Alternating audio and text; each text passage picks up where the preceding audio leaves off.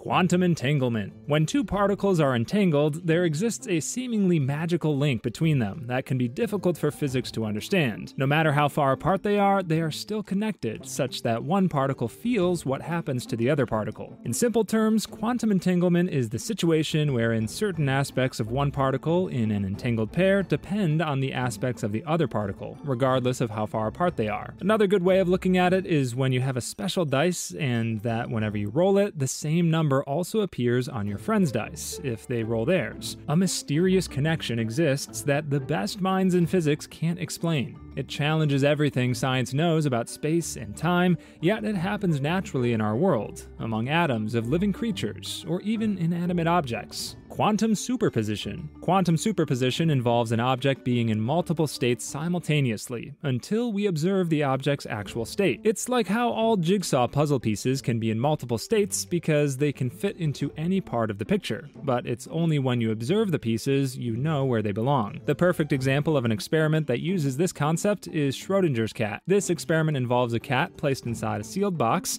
Its fate is dependent on a dangerous particle in a superposition. The catch here is that no one knows if the particle killed the cat or if it survived. Only when someone opens the box will the cat's fate be revealed. So before opening the box, the cat is dead and alive, putting it in a superposition state. In short, anything can be true or false until we observe the world around us. Similarly, a particle in quantum superposition can exist in multiple states until it is observed. Returning to the jigsaw puzzle analogy, we only see where the pieces fit until we observe them and the bigger picture. Quantum physics tells us that everything in the world is possible until the moment of observation. Heisenberg's uncertainty principle. You're in a scenario where you're trying to catch a mosquito that has been bugging you for a while. The more you focus on its position, the less you know how fast it is. Similarly, if you focus on its speed, you won't be able to observe its exact position. Heisenberg's uncertainty principle operates in the same way. Heisenberg's uncertainty principle states that it is impossible to simultaneously and precisely know the position, speed, and direction of a quantum particle due to the limitations in measurement accuracy. This principle is like a balancing act. It's rooted in the observer effect, which states that observing an object will change its behavior. So if we measure a tortoise moving at 0.5 miles per hour,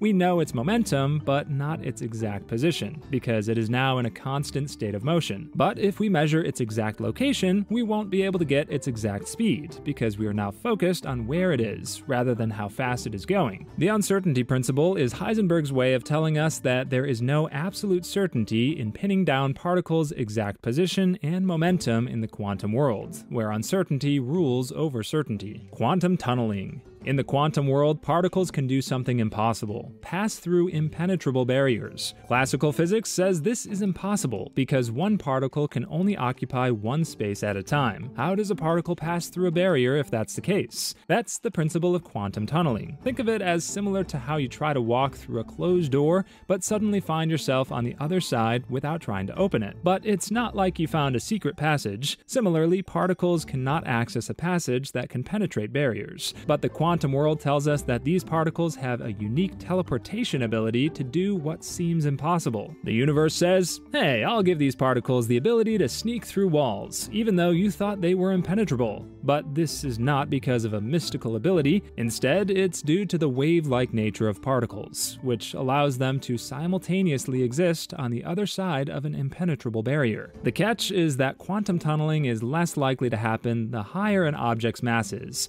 making it unlikely for objects larger than a particle to pass through barriers. So you might want to forget about teleportation, because it's unlikely to happen anytime soon. Quantum computing. Regular computers are capable of two things. They can either be on or off. But let's say there's a quantum computer that has superpowers, in the sense that it can be on, off, or both on and off simultaneously. That's the basic principle behind quantum computing. In the regular world, computers exchange bits that can only be 0 or 1. However, in the quantum world, computers exchange quantum bits, or qubits, which can exist in multiple states simultaneously because of quantum superposition. So these bits can be 0, 1, or both 0 and 1 at the same time. In this case, superposition allows quantum computers to process information much faster than regular computers. They can do multiple tasks simultaneously while taking on multiple routes, allowing them to solve the most complex problems until they reach a solution. Of course, quantum computers use quantum mechanics to solve problems that even supercomputers aren't capable of. The double slit experiment. The double slit experiment can be explained in a situation where you have a small cannon that can shoot tiny marbles toward two slits, and there's a wall behind the slits. In classical physics, you're supposed to see two bands on the wall because the marbles are supposed to split and pass through the two slits. However, the double slit experiment has a different result. In this experiment, interference patterns that can only be exhibited by waves will appear in the wall behind the slits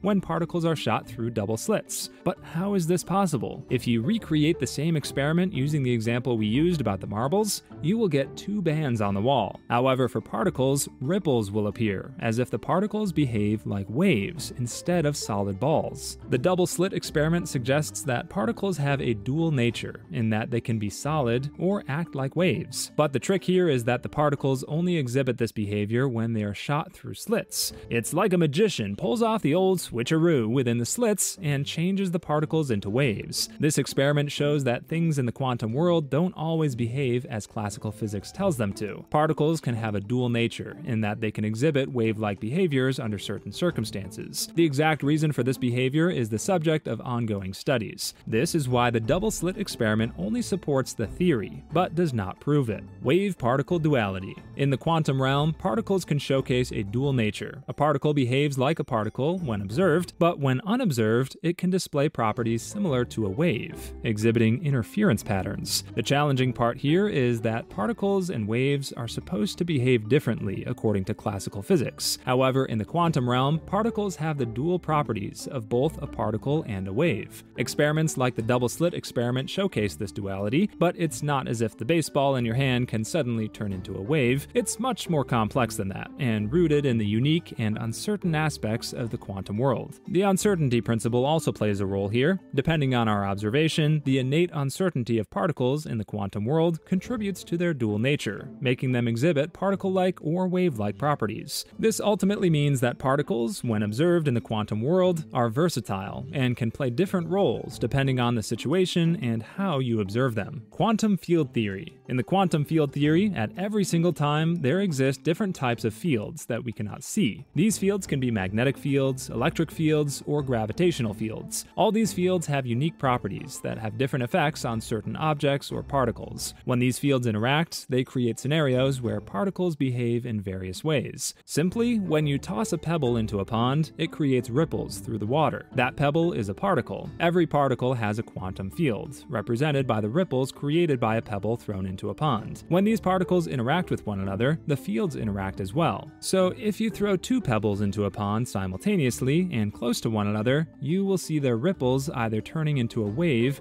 or canceling each other out. But instead of a pond, the quantum field theory appears more like a dance floor. When the fields generated by the particles interact, the particles will start to act like dancers, twirling on the dance floor, spinning, jumping, and moving around from one place to another. The quantum field theory tries to unify the movements created by all the particles interacting. It provides a framework often used in quantum mechanics and explains the quantum world and the different things happening in the most miniature observable world of atoms and particles. The observer effect. Say you wanted to take pictures with your camera after observing a particular scene. For example, you want to capture a scene of two lovers kissing, but when you look at the photo, the scene changes into two people fighting each other. This is similar to how the observer effect works. In the quantum world, observing particles can influence their actions. On the other hand, in the everyday world, observing things for what they are doesn't change their nature or what they're doing. But in quantum physics, particles are shy enough to change their behavior when they know you you're observing them. It's like someone is invisible only whenever another person is looking at them. Observation is commonly supposed to be a neutral act that doesn't change the outcome of an experiment or any observable phenomena. A house will always be burning if you observe the flames turning wood into ash. In the quantum world, however, observing particles' actions can change how they act,